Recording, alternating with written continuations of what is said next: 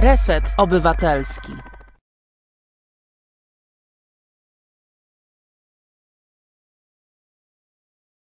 Dzień dobry Państwu. Dziękuję przede wszystkim za pomoc w tym programie panu Markowi Jakubekowi. No i wszystkich Państwa proszę o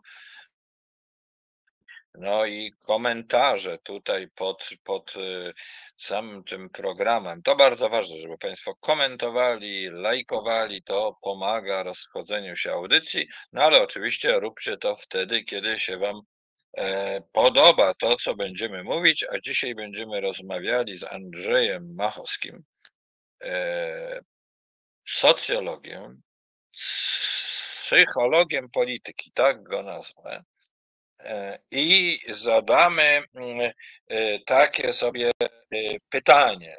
Dobry. Otóż pan Andrzej Machowski.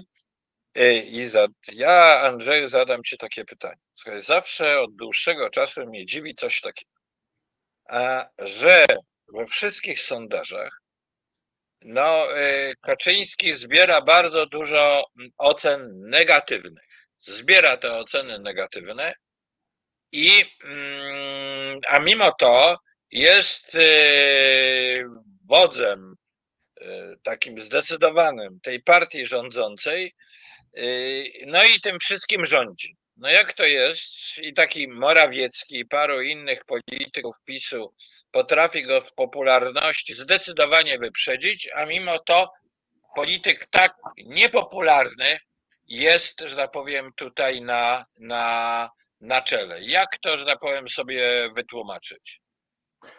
No zacznę od tych sondaży, bo yy, faktem jest, że Kaczyński ma bardzo dużo ocen negatywnych, ale prawdziwsza ocena tych sondaży Kaczyńskiego byłaby taka, że on yy, ma po prostu bardzo takie, taką zdychotomizowaną ocenę, to znaczy y, część y, polskiego społeczeństwa, w tej chwili jest to zdecydowanie mniejszość, ocenia Kaczyńskiego niezwykle pozytywnie, a większość skrajnie negatywnie. Y, on przez Polaków, którzy dzisiaj sprzyjają opozycji demokratycznej, jest traktowany y, bardzo negatywnie, y, co nie przeszkadza temu, że z kolei ci, y, na których opiera się PiS, ten wierny elektorat PiSu, traktuje Kaczyńskiego, można powiedzieć, wręcz jak nie wiem, ojca narodu. I ci ludzie, których na przykład widzimy teraz jako widownie y, na tych objazdach Kaczyńskiego po kraju, no to wręcz byliby go gotowi całować po rękach i być może nawet nie tylko metaforycznie. Więc to jest tego typu polityk. Ale jest też jeszcze drugi aspekt, no bo można też pytać, jak, dlaczego y, y, w tak podzielonym społeczeństwie, gdzie Kaczyński siłą rzeczy ma tak podzielone oceny, od bardzo pozytywnych po skrajnie negatywne. Inni politycy obozu władzy, jak na przykład, nie wiem, Duda czy Morawiecki, o którym wspomniałeś, e, aż tak e, zróżnicowanych ocen nie mają. E, I u nich tych ocen pozytywnych jest więcej. Otóż no, fenomen Kaczyńskiego też polega na tym, że on w ramach tego obozu politycznego, czyli tak zwanej Zjednoczonej Prawicy, jeśli chodzi o przywództwo w tym obozie, nie ma żadnej, ale to żadnej konkurencji. A dlaczego tak jest, że on tej żadnej konkurencji nie ma? Otóż to sobie zapewnił Kaczyński już wiele, wiele lat temu, tworząc Prawo i Sprawiedliwość swoją partię i e, pisząc statut tej partii. I można powiedzieć, że tak jak ta partia działa w ramach tego statutu, to pozycja Kaczyńskiego jest w żaden sposób niezagrożona, bo po prostu Kaczyński w ramach tego statutu ma władzę absolutną i można powiedzieć, że jest politykiem, przywódcą tej partii nieobalalnym.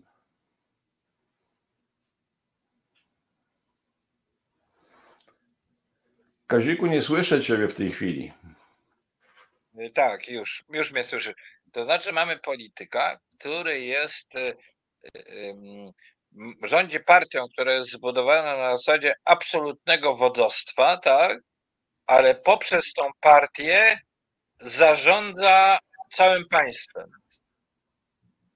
Tak bym to mógł ująć, bo ja się kiedyś bardzo wnikliwie pochyliłem nad statutem PiSu, a było to mniej więcej wtedy, kiedy e, senator Jan Maria Jackowski już dzisiaj poza PiSem, e, czy poza klubem parlamentarnym PiSu, no właśnie bardzo się martwił i dziwił, że może zostać wyrzucony z tego klubu PiS, e, a przecież twierdził, że on tak naprawdę no, bronił programu pisowskiego, no więc dlaczego jak on bronił programu pisowskiego i tych pryncypiów programowych, a chodziło wtedy o jego głosowanie w sprawie piątki dla zwierząt, to może być wyrzucony z tego PiSu.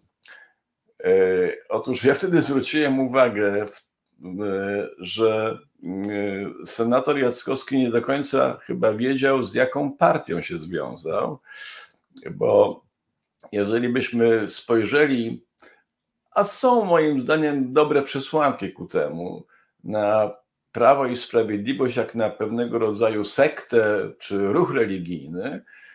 I gdybyśmy się chcieli, tak powiem, pytali, a co w związku z tym jest taką jakby świętą księgą tego ruchu, no to nie są e, tą księgą, świętą księgą ani pryncypia programowe, e, ani nie wiem, projekt odrzucania trzeciej RP i jej elit na rzecz dobrej zmiany. Nie.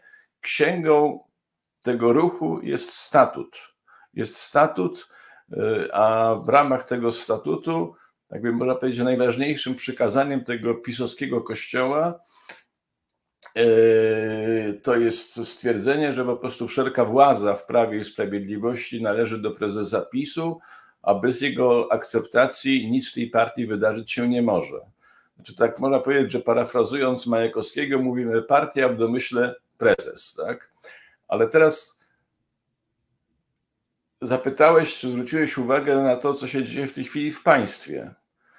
Otóż można powiedzieć, że w momencie, kiedy PiS objął władzę w państwie, to y, ten mechanizm rządów y, PiS, y, prezesa nad Prawem i Sprawiedliwością i jego niepodważalna ze statutu wynikająca pozycja w Prawie i Sprawiedliwości, otóż ten mechanizm zaczął być by przenoszony na funkcjonowanie państwa.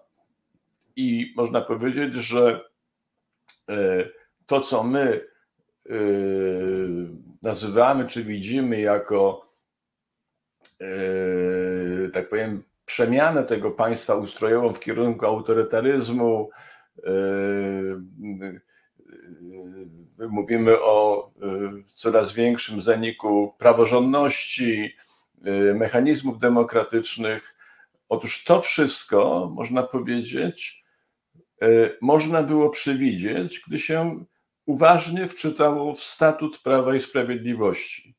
Te zasady, które obowiązują w Prawie i Sprawiedliwości, y, i to jedynowładztwo Kaczyńskiego, w momencie, kiedy tego typu partia obejmuje władzę w państwie, zaczynają obowiązywać w państwie.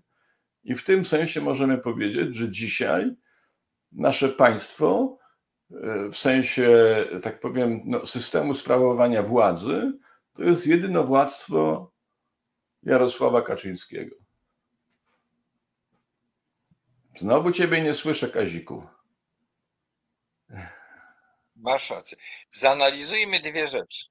To znaczy, jeżeli ja będę chciał zostać e, e, prezesem jakiejś ważnej spółki Skarbu Państwa, to przede wszystkim muszę pójść do prezesa i muszę podlizać, bo on będzie o tym decydował ostatecznie, a nie jakieś inne mechanizmy, nazwijmy to polityczne. To znaczy, jest to, że to powiem, wbudowane w taki system, Y, z góry to, że się należy uczynić zależnym od prezesa, powiedzieć mu, że się będzie wobec niego w pełni lojalnym, po to, żeby móc y, osiągnąć jakieś stanowisko czy cel polityczny, ale on w takim razie nie może być w żaden sposób sprzeczny z myślą człowieka na Nowogrodzkiej, tak? E, to oczywiste, choć trzeba też zaznaczyć, że oczywiście Kaczyński trochę też na zasadzie dzieli i rządź e, nie decyduje bezpośrednio o wszystkim. Niektóre e, te nieformalne oczywiście kompetencje scedował na innych i można powiedzieć, że pozwala nawet na to, by w tym prawie i sprawiedliwości była pewna walka frakcyjna, tyle że w każdym momencie on może wkroczyć i podjąć ostateczną decyzję. Przykładowo, jeżeli y, chcesz być prezesem w jakiejś spółce, a jesteś związany, czy masz dostęp jakiś, nie wiem, do Morawieckiego, to możesz oczywiście sobie to załatwić na poziomie Morawieckiego, ale jeżeli na przykład dojdzie do czegoś takiego, że akurat ta firma, nie wiem, będzie przedmiotem jakichś targów w obozie władzy i będzie większą ochotę na, tak powiem, e, władztwo nad tą firmą miał na przykład wicepremier Sasin, to może się okazać, że w pewnym momencie tę e, ostateczną decyzję, czy nad tym wszystkim ma panować Morawiecki czy Sasin, podejmie Kaczyński, tak? No i, i może się okazać, że wtedy dostęp do niższego szczebla niczego nie załatwia, niczego nie załatwia. I to zresztą się dzieje, to widać, że e, są podejmowane co pewien czas decyzje, które na przykład jakiś obszar wyjmują spod e, władztwa jednego zaufanego człowieka Kaczyńskiego, po to, żeby to oddać pod zarząd innego zaufanego człowieka Kaczyńskiego, a ci dwaj ludzie niespecjalnie się ze sobą potrafią zgodzić, czy nie bardzo się lubią. Ale Kaczyński lubi takie sytuacje. No dobrze, ale mm, ja ci później zadam pytania, ale to odłóżmy, że tak powiem, na jeżeli zbierzemy trochę więcej faktów i poszerzymy opis, czy mm, skąd się mógł wziąć taki statut partii? Czy ten statut partii jest napisany wbrew prawu o, o partiach, czy też y, polskie prawo zawiera taką lukę, że można w ogóle taką partię skonstruować? No bo przecież każda partia jest re, y, rejestrowana. Ale najpierw nim się zajmiemy, to tym problemem, to zdradzę ci się z tym, że ja, e, proszę ciebie, prowadzę ten program od, znaczy ten cykl. On już ma tam cztery czy pięć odcinków. I mówię o ideologach PiSu, o takich ludziach jak e, Szczerski, Krasnodębski i tak dalej, i tak dalej. I nazwałem ich intelektualistami. E, no to nawet poirytowało część naszych słuchaczy. Tutaj zresztą cytuję, prawda, że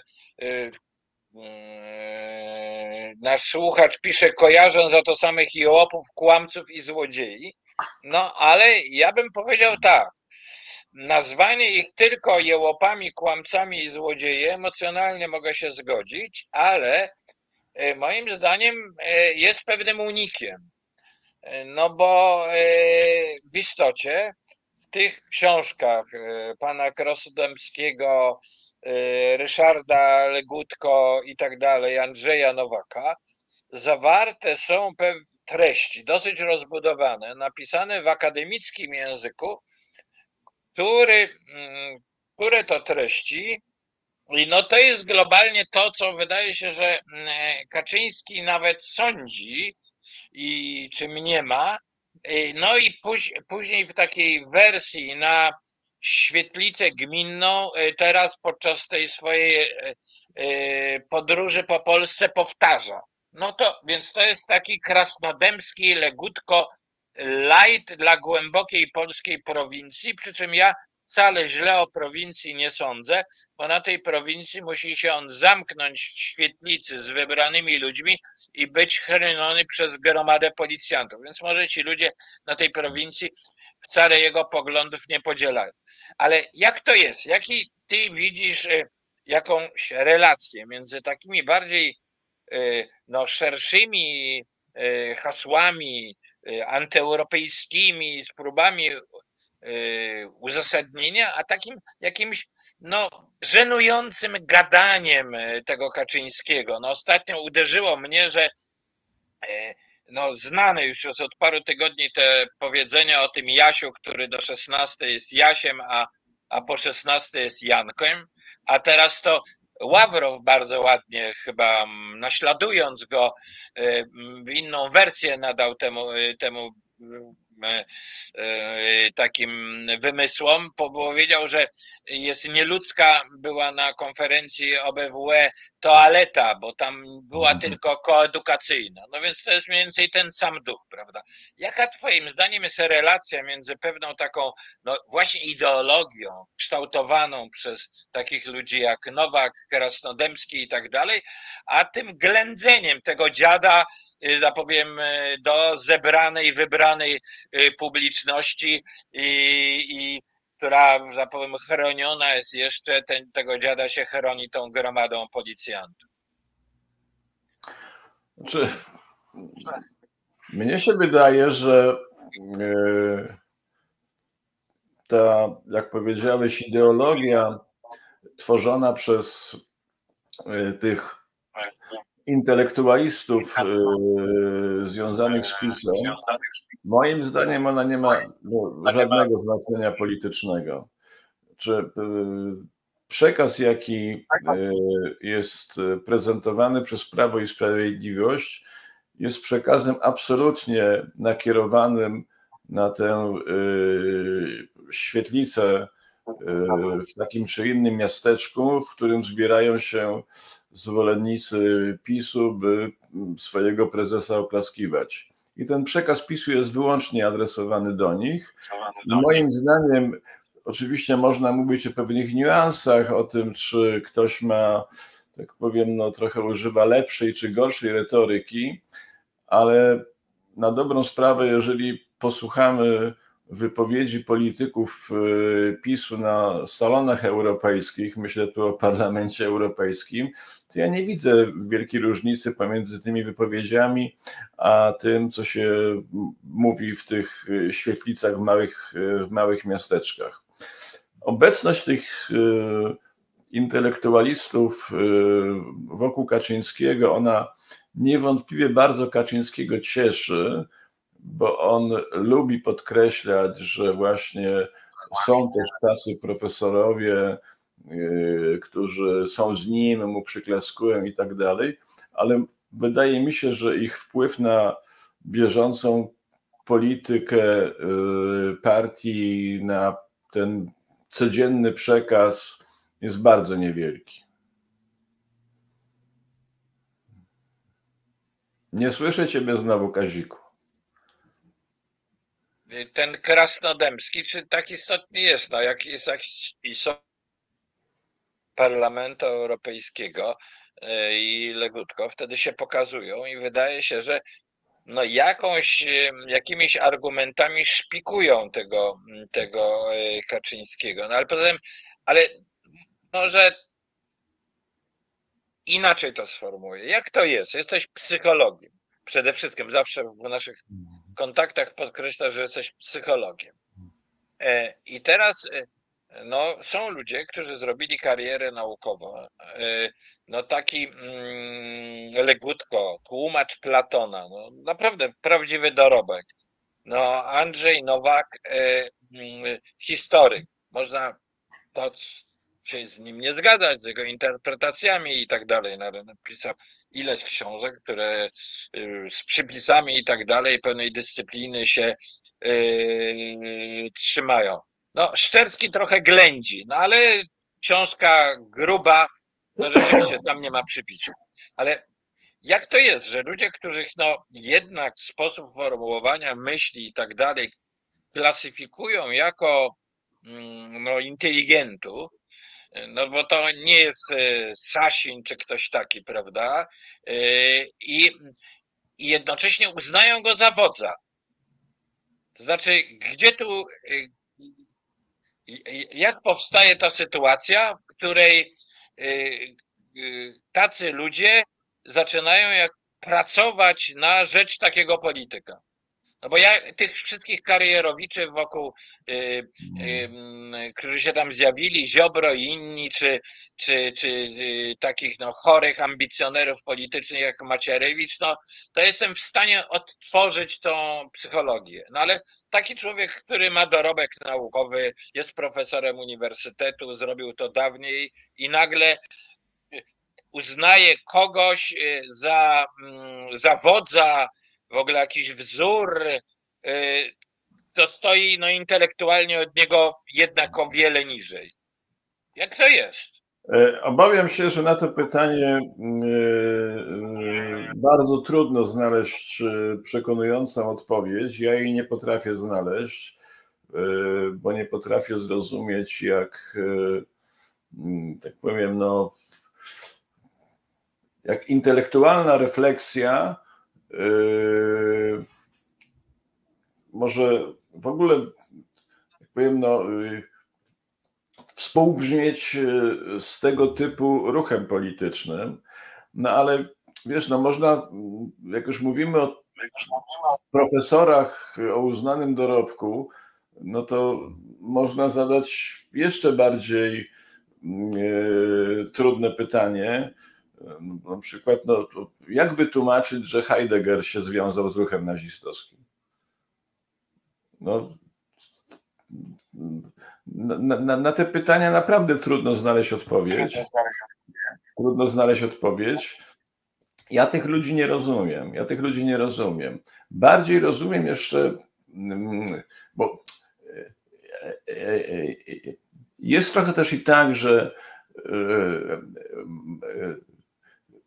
że mamy na przykład osoby, które mają pewien dorobek naukowy y, i generalnie, y, tak powiem, bliżej im jest do prawicy, mimo że większość środowiska intelektualnego y, raczej jest po drugiej stronie, ale bardzo często tutaj takim czynnikiem podstawowym, który sytuuje te osoby bliżej prawicy, jest na przykład kwestia religijności. Nie wiem, jak jest w przypadku Andrzeja Nowaka, Krasnodębskiego czy Legutki. Nie znam tych ludzi osobiście, ale generalnie mogę powiedzieć, że mam pewien problem, by zrozumieć, jak y, tłumacz Platona może być tak blisko y, Prawa i Sprawiedliwości, jego polityki, jego retoryki i tak dalej, i tak dalej.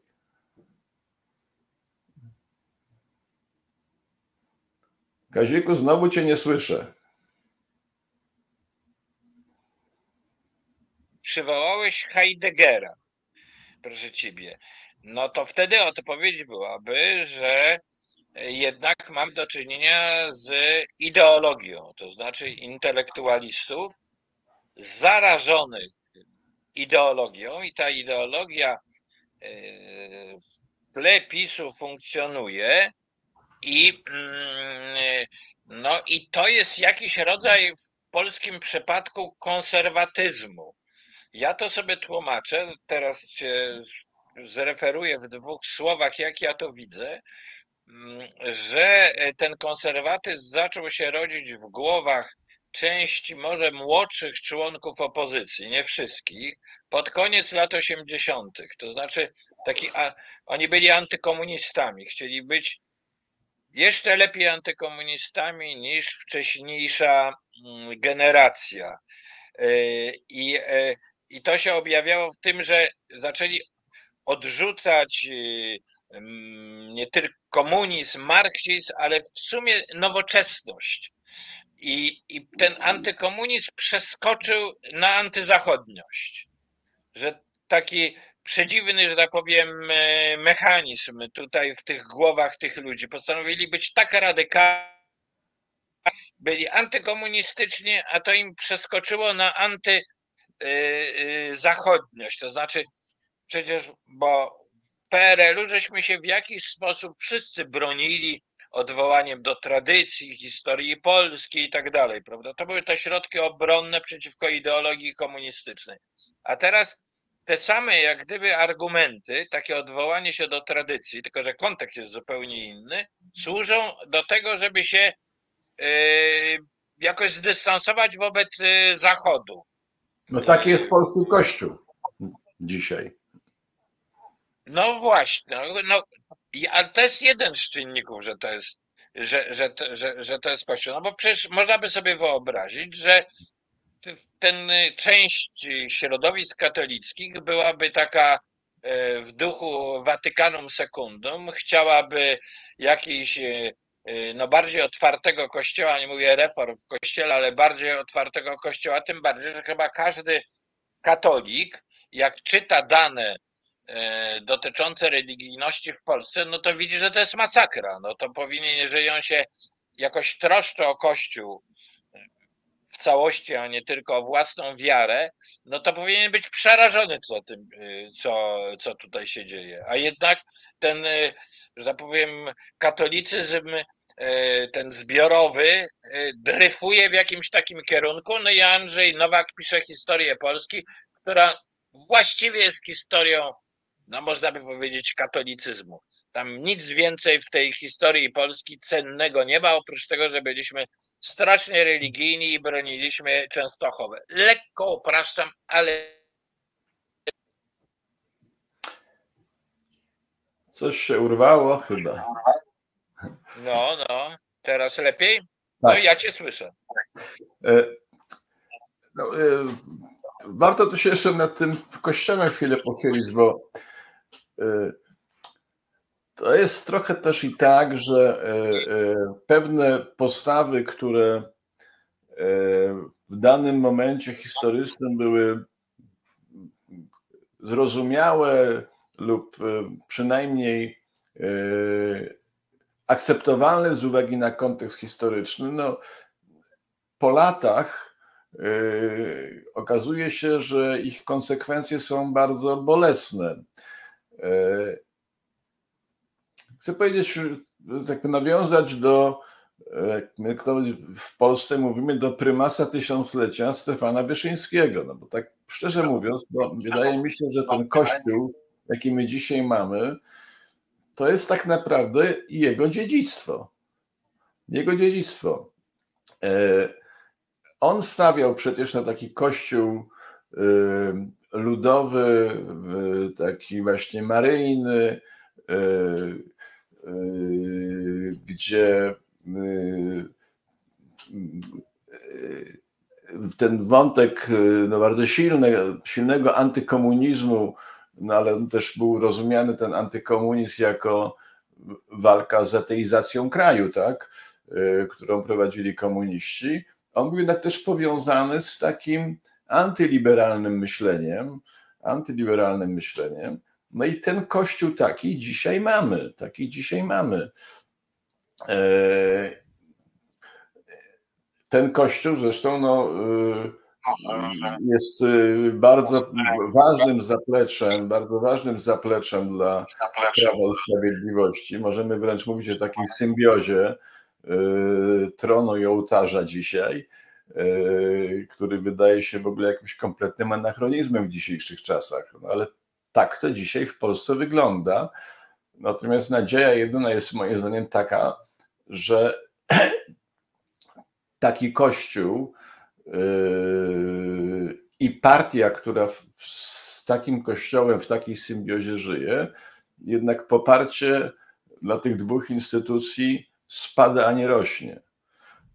No i w tym poczytuję jednak nadzieję na to, że w, w tym naszym kraju jednak będzie e, za niewiele lat lepiej, mądrzej, bardziej postępowo, bardziej europejsko niż to jest dzisiaj. No dobrze, ale ja chcę Ci zadać jednak takie pogłębiające i trudniejsze pytanie. No, przecież e, w latach 70., 80., w osobach takich jak najpierw Wyszyński, a później Jan Paweł II, widzieliśmy zwolenników demokracji, wyzwolenia od komunizmu i tak dalej, i tak dalej. Czyli mm, yy, teraz, no, w nowym kontekście podobna, podobne myślenie i myślenie takie super, trady, znaczy silnie tradycjonalistyczne, nagle nabrało zupełnie innej wymowy.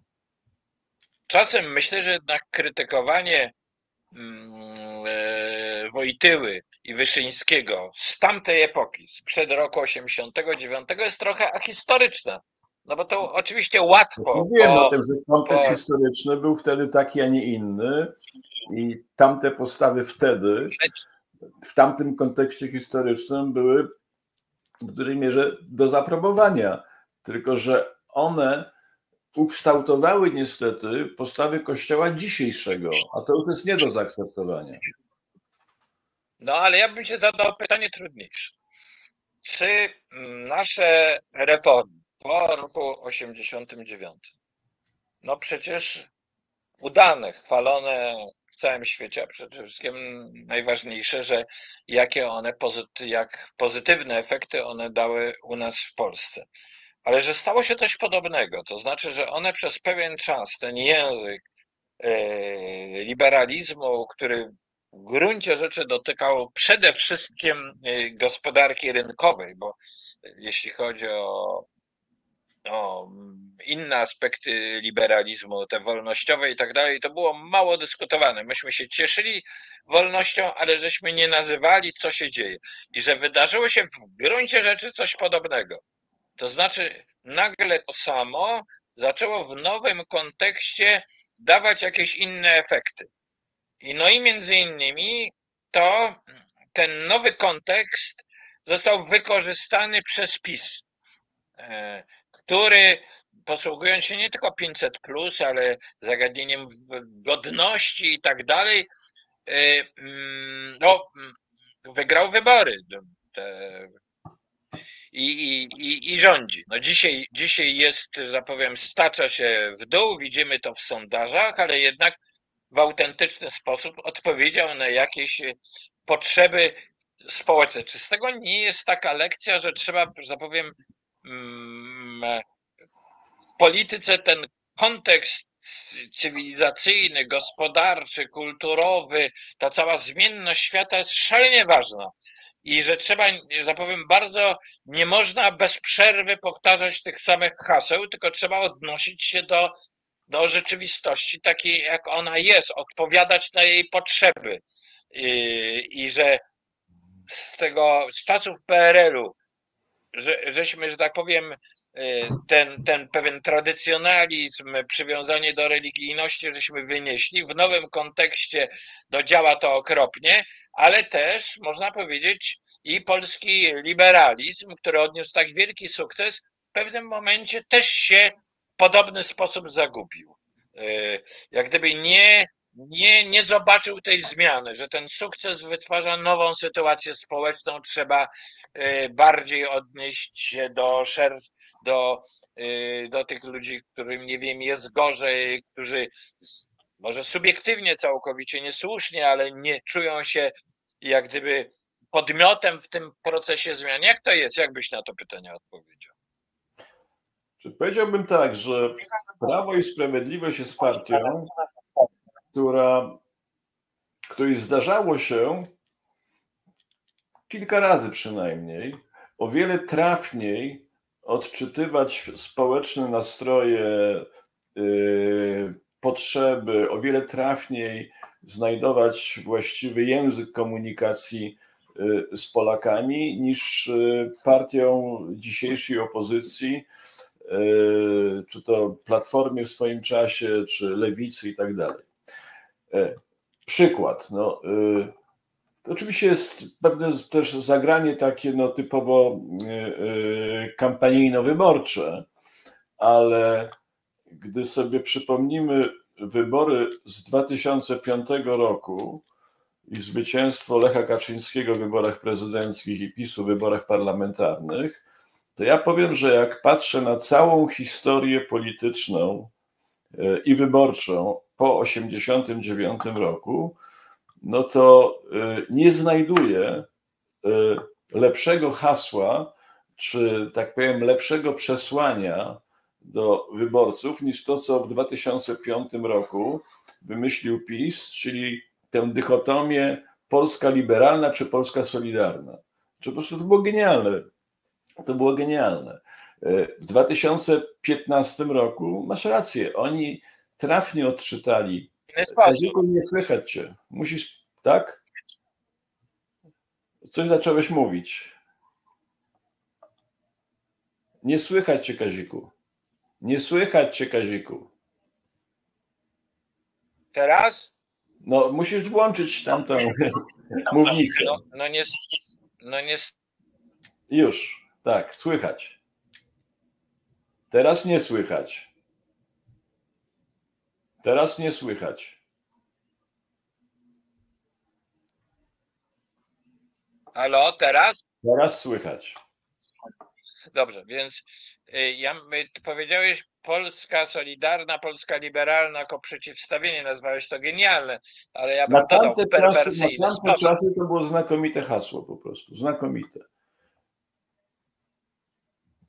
Taka jest prawda. No to dobrze, to wytłumacz, dlaczego ono było znakomite. Żebyśmy, e, dla, bo dla mnie było ono oszukańcze, ale ku ale to mojemu... Inna sprawa. Ja nie, nie, nie, ale Kaziku, nie mówimy o tym, czy ono było e, prawdziwe, czy ono było oczywiście oszukańcze. Natomiast z punktu widzenia no, e, takiego politycznego marketingu, znaczy ci ludzie, którzy wtedy wymyślili to hasło dla PiSu i Lecha Kaczyńskiego, no powinni od tej partii dostać naprawdę duże pieniądze.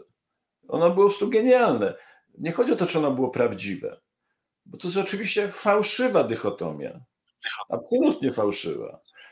Ale oni dzięki temu hasłu potrafili. E, jeszcze dodajmy do tego, jakie wtedy spoty y, w telewizji y, wyborcze leciały ze strony PiSu z tą lodówką i tak dalej, i tak dalej. Oni po prostu pokazali coś takiego, że oto mamy Polskę liberalną. Liberalizm wtedy, w wiele większym stopniu niż teraz, miał absolutnie konotacje negatywne, aferały i tak dalej, i tak dalej a z drugiej strony my, PiS, proponujemy Wam Polskę Solidarną, gdzie ludzie ludziom pomagają, troszczymy się o biedniejszych, o tych, którym się mniej udało, nawiązujemy to też do tej wielkiej solidarności, która nas kiedyś łączyła. No, wiesz, no z tego punktu czekaj, widzenia czekaj, to czekaj, czekaj, no, czekaj, to ja się przyczepię do tego, co... Ale chciałem jeszcze poczekać, tylko chciałem, chciałem jeszcze kontynuować, bo tak jak powiedziałem, że PiSowi zdarzało się kilka razy wpadać na genialne pomysły wyborcze e, i znajdować właściwy język komunikacji z wyborcami, to muszę też powiedzieć, że pewnych posunięć z punktu widzenia takiej strategii tej partii i chęci oczywiście posiadania władzy na, na tak długo, jak tylko się da, po prostu nie rozumiem. Bo w 2015 roku oni wygrali wybory mając 37%. Transfery społeczne, jakie oni zaczęli y, po 2015 roku kierować do, 500 plus i tak dalej, i tak dalej, potem te emerytury 13. To wszystko sprawiło, że ich poparcie zaczęło rosnąć. Znaczy, mówiąc krótko, to była partia, to nie była partia, która po, nie wiem, dwóch, trzech latach zaczęła tracić poparcie. Nie, zaczęła to poparcie jeszcze bardziej rosnąć. I powiem tak, y, mamy Kaczyńskiego, znamy jego różne obsesje antyeuropejskie, y, antyniemieckie, y, znamy jego obsesje dotyczące imposybilizmu, że oto władza, jeżeli się ma, to musi być zdolna przeprowadzać wszystkie swoje pomysły i nie powinno być czegoś takiego, że jakieś sądy będą ją tam kontrolować i tak dalej, i tak dalej. Ale to wszystko spowodowało, że e, część taka bardziej, można powiedzieć, centrowa opinii publicznej zaczęła się od PiSu od, yy, dystansować.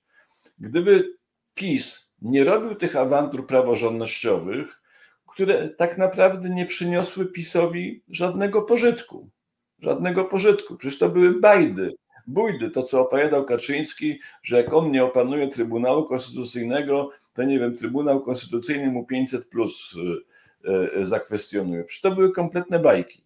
Gdyby oni tej awantury nie zrobili, to moim zdaniem Kaczyński miał szansę na to, że on stworzyłby taką wielką ludową partię, która mogłaby w Polsce sprawować władzę przez dwie dekady. Naprawdę. Z tym programem społecznym i tak dalej, i tak dalej.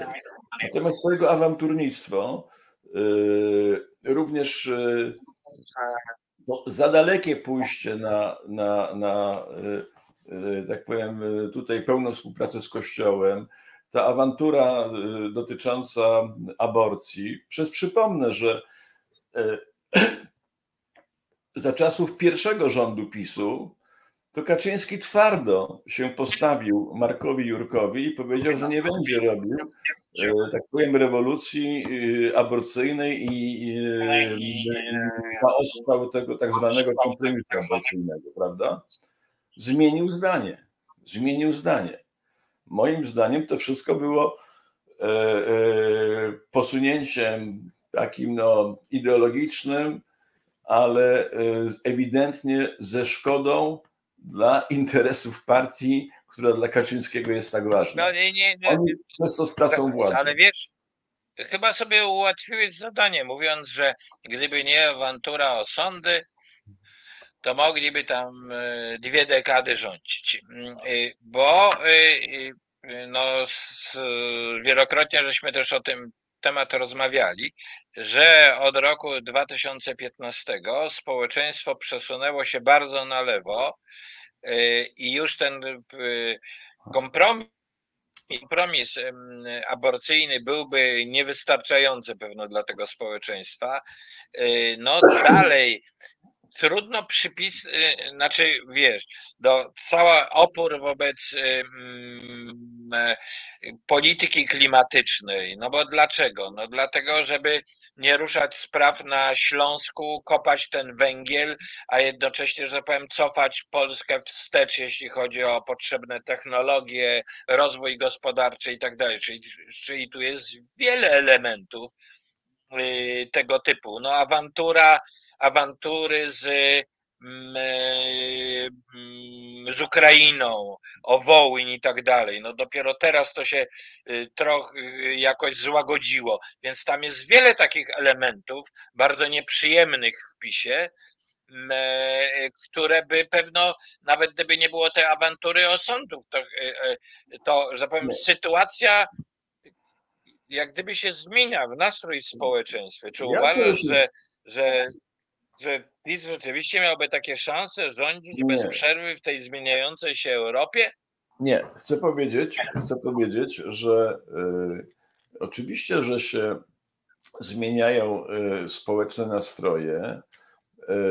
Y, sam wielokrotnie o tym mówiłem i zwracałem na to uwagę, jak gwałtownie i jak w sposób zdecydowany zmieniły się na przykład poglądy Polaków, jeśli chodzi właśnie na przykład o te kwestie światopoglądowe, aborcja, związki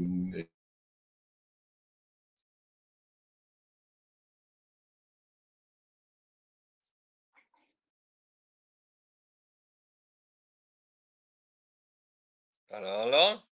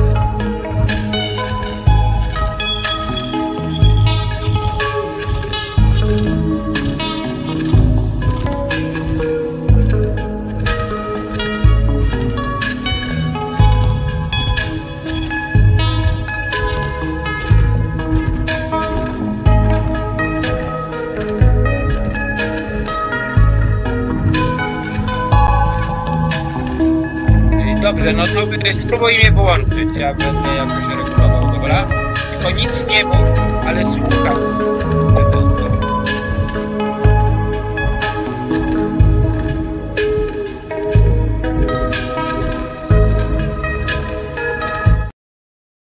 Halo?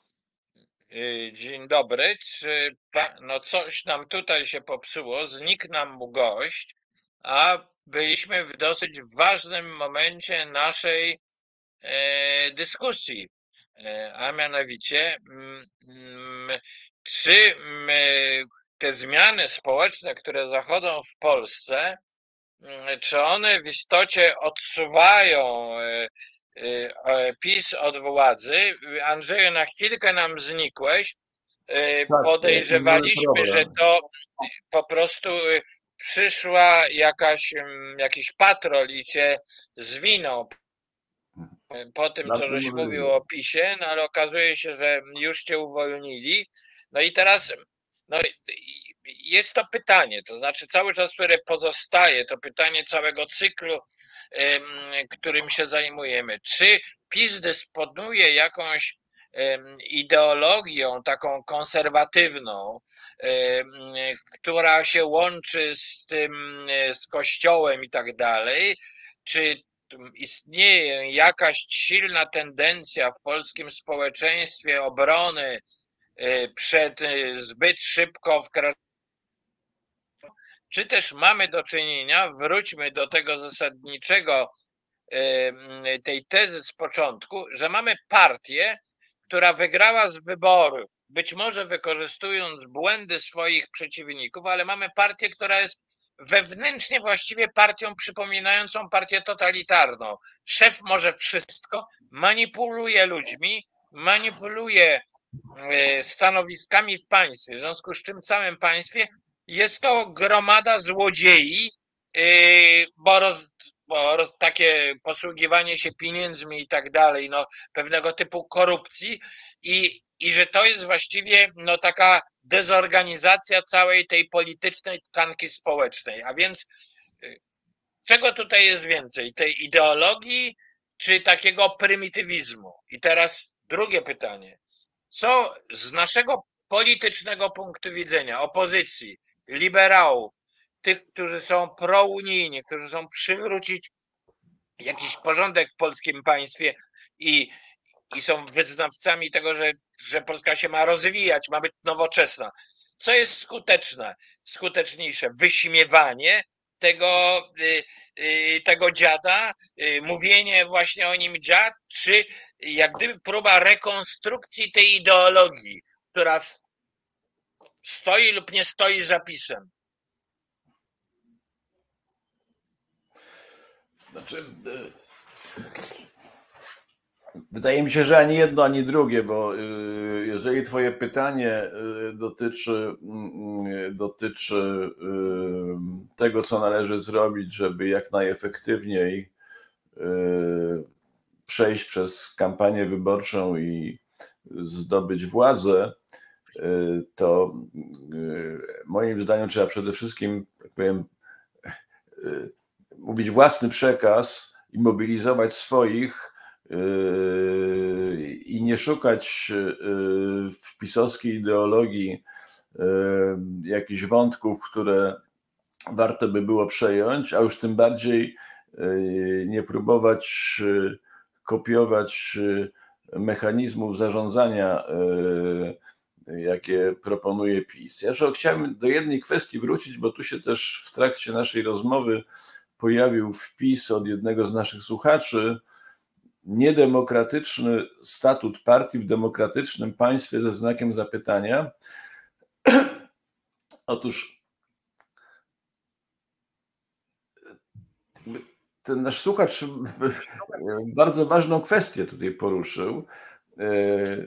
Zresztą wykracza ona tylko poza tę kwestię niedemokratycznego statutu partyjnego w demokratycznym państwie, bo generalnie chodzi o to, że te rządy pisowskie pokazują, jak wiele rzeczy my, jeżeli uda nam się zdobyć władzę, mówię o środowiskach dzisiejszej opozycji demokratycznej, jak wiele rzeczy my musimy naprawić, nie tylko jeśli chodzi o kwestie, które popsuł PiS, ale również jeśli chodzi o niektóre rzeczy, które funkcjonowały przed 2015 rokiem.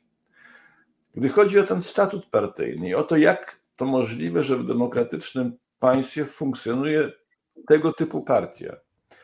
Otóż trzeba sobie jasno powiedzieć, że ustawa o partiach politycznych w niezwykle e, ogólnikowy sposób traktuje kwestię e, tego, jakie e,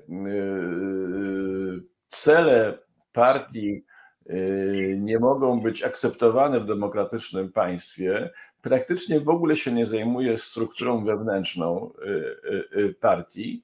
I można powiedzieć, że po pierwszych rządach pisowskich 2005-2007 próbowano, jak pamiętamy, się rozliczyć, choć zrobiono to wyjątkowo nieudolnie i w efekcie nieskutecznie, na przykład ze Zbigniewem Ziobro.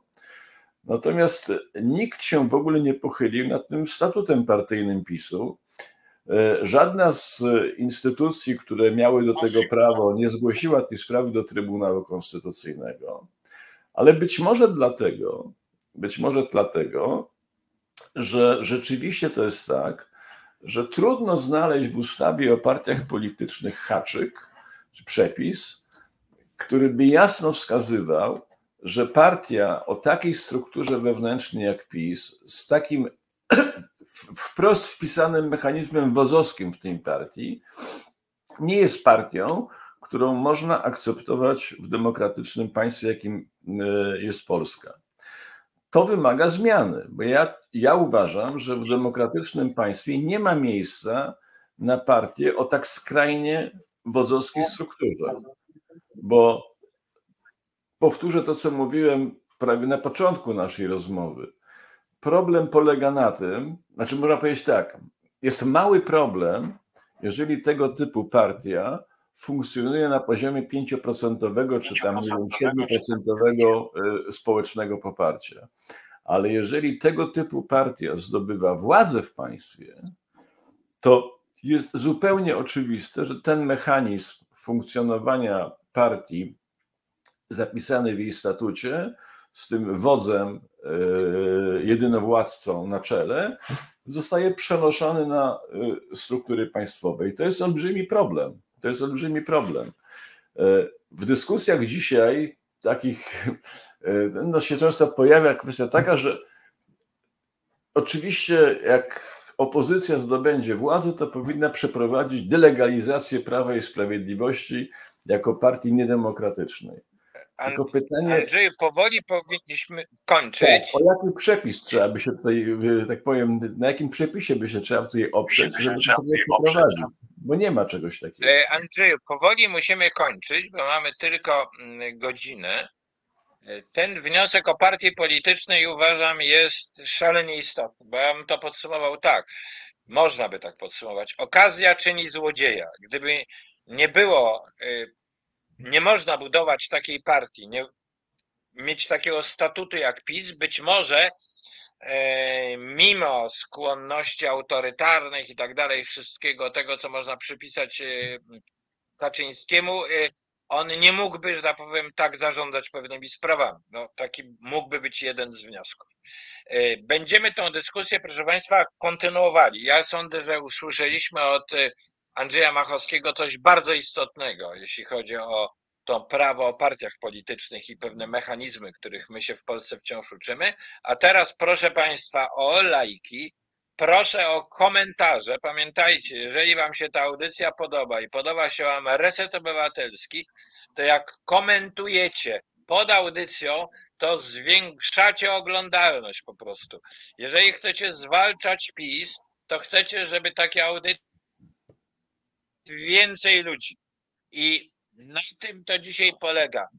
Nie tylko trzeba iść do urny y, wyborczej, ale trzeba też lajkować i upowszechniać to, co w nas w tych mediach nowych, y, społecznościowych, co nam się podoba, żeby jak najwięcej ludzi to oglądało. Więc teraz pozdrawiam i dziękuję y, Andrzejowi Machowskiemu, socjologowi, psychologowi polityki. Obiecuję Państwu, że będziemy się z nim też e, spotykali i e, oglądajcie Reset Obywatelski i wspomagajcie niezależne dziennikarstwo.